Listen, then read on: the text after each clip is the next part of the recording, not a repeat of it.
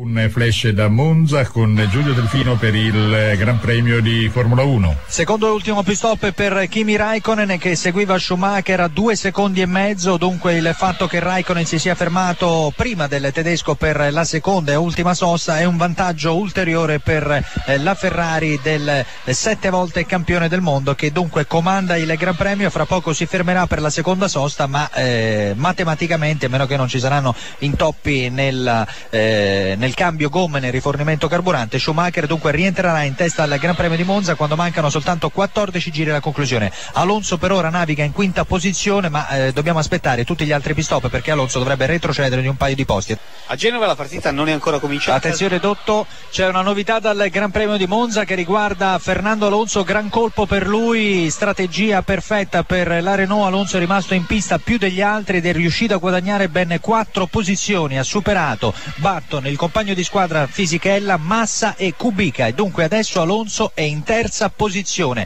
Eh, tutti quanti hanno completato il loro ultimo pit stop, mancano 10 giri alla conclusione del Gran Premio, questa la situazione dunque quasi definitiva. Schumacher su Ferrari in testa al Gran Premio d'Italia, 4 secondi di vantaggio nei confronti eh, di Raikkonen, poi più lontani, eh, staccate di quasi mezzo minuto, abbiamo Alonso in terza posizione. Attenzione, c'è un motore della Renault che va in fumo. C'è un motore della Renault che va in fumo e Alonso. Alonso そう。Scoppia il motore di Fernando Alonso, clamoroso colpo di scena nel Gran Premio d'Italia. Alonso non rompeva un motore da tre anni, incredibile, clamoroso colpo di scena. Alonso si ritira dopo una sensazionale rimonta, dunque zero punti per lui. Parcheggia in questo momento la sua Renault a bordo pista e dunque zero punti per Fernando Alonso. Schumacher in testa al Gran Premio d'Italia, nove giri alla conclusione, potrebbe essere un 10 a 0 pesantissimo che riporterebbe Schumacher a sole due lunghezze da Fernando Alonso. Dunque clamoroso clamoroso colpo di scena a nove giri dalla conclusione. Cede il motore Renault eh, del eh, monoposto del campione del mondo. E dunque Schumacher ora in testa davanti a Raikkonen terzo posto per Kubica davanti a Massa Fisichella quinto e poi via via tutti gli altri. Un momento importantissimo per il mondiale di Formula 1 ancora Giorgio Delfino per la Formula 1 Manca poco più di un giro alla conclusione del Gran Premio d'Italia. Schumacher saldamente al comando della gara, ma ricordiamo importantissimo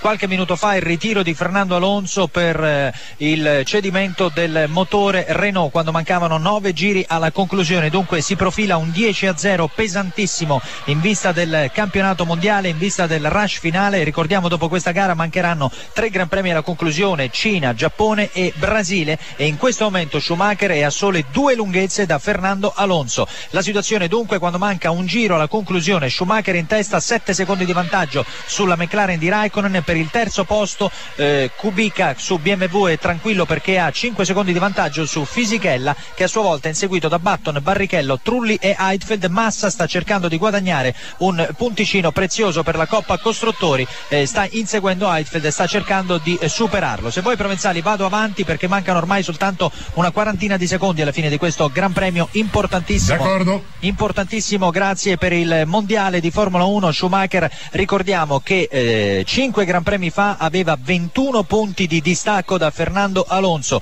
Poi è cominciata, è cominciata la rimonta per il pilota tedesco con la tripletta negli Stati Uniti, in Francia e in Germania. Poi le grandi occasioni mancate eh, sia in Ungheria che in Turchia, dove Schumacher ha commesso degli errori e ha regalato punti preziosi a Fernando Alonso. Ma oggi eh, c'è questo 10 a 0 che resetta eh, tutto, getta tutto nel passato Michael Schumacher che taglia il traguardo, conquista per la quinta volta il Gran Premio di Monza e torna nettamente in corsa per il titolo mondiale. Ora è a soli due punti adesso di distacco eh, per Schumacher nei confronti di Fernando Alonso e fra poco potrebbe esserci anche l'annuncio del ritiro del pilota tedesco dalla Formula 1, ovviamente a fine stagione. Per quanto riguarda la Coppa Costruttori, già che ci siamo provenzali, così chiudo, eh, la Ferrari ha scavalcato la Renault ed è in testa con tre punti di vantaggio, dunque meno due nel campionato piloti, più tre in quello costruttori. A te la linea. Naturalmente potrai intervenire qualora ci sia la lettura del eh, comunicato della uh, Ferrari, noi restiamo sempre in ascolto. Prova a fare il Messina la partita qui allo stadio San Filippo, il parziale sempre di 0 a 0 Attenzione quando Raffa, siamo arrivati. Attenzione Raffa, Vai è pure. ufficiale il ritiro di Michael Schumacher dalla Formula 1, è stato eh, consegnato in questo momento il comunicato dalla Ferrari come promesso a fine gara e sul comunicato c'è scritto che appunto a fine stagione comunque andrà il mondiale di Formula 1 Schumacher si ritirerà. Dunque è la fine di una leggenda davvero eh, grandiosa la carriera di Michael Schumacher, sette campionati del mondo, forse otto per come è andata a finire eh, questa gara. Schumacher in questo momento eh, quasi in lacrime sta raggiungendo il podio dove festeggerà la sua quinta vittoria a Monza, la novantesima in carriera, decisamente commosso Michael Schumacher. Da questo momento dalle 15.24 è ufficiale. Schumacher a fine stagione eh, si ritirerà dalla Formula 1 a te la linea io sono molto molto contento per essere qua per di più eh, dieci anni con la mia eh, famiglia Ferrari.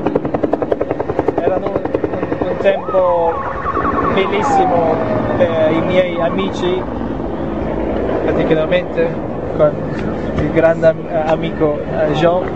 La Radio 1 la riceve e anche il nostro presidente due, due persone molto importanti per uh, la nostra situazione il nostro successo.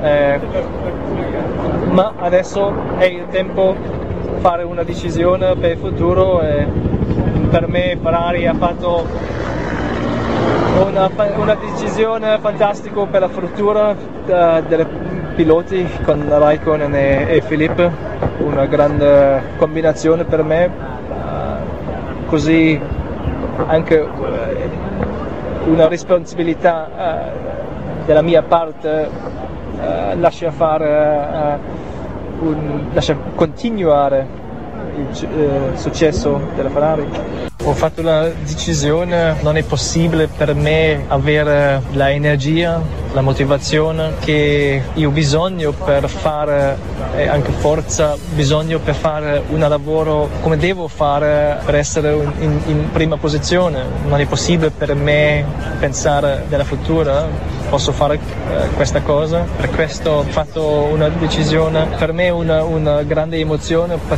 particolarmente oggi perché abbiamo vinto la gara, i tifosi erano molto grandi, sono molto emozionato per questa cosa. E anche eh, particolarmente la mia famiglia Ferrari e la mia moglie, tutti sono i miei amici e sono molto contento che ho avuto la possibilità di lavorare con, con tutti i, i, miei amici in Ferrari, un lavoro, un tempo è bellissimo e grande. All'età di 15 anni Michael Schumacher per sbarcare il lunario lavava le macchine in un'officina di Kerpen, ma già sapeva che il suo futuro era legato alle corse. Di famiglia povera se non fosse stato per un amico del padre che pagò 250 marchi per iscriverlo ad una gara di Formula minore, oggi Schumacher non sarebbe la leggenda della Formula 1. L'esordio nell'Olimpo dei piloti avvenne nel 91 grazie all'arresto del pilota belga Gachot alla vigilia del Gran Premio di Francorchamps. Eddie Jordan, su segnalazione di un dirigente Mercedes, fece svolgere a Schumacher un test a Silverstone in cui il tedesco lasciò lasciò tutti sbalorditi. Il Gran Premio andò male perché Schumacher bruciò la frizione al via, ma un certo Flavio Briatore, all'epoca in Benetton, aveva già fiutato il suo talento e appena quattro giorni dopo lo portò con sé nella scuderia con cui poi conquistò i primi titoli mondiali nel 94 e nel 95.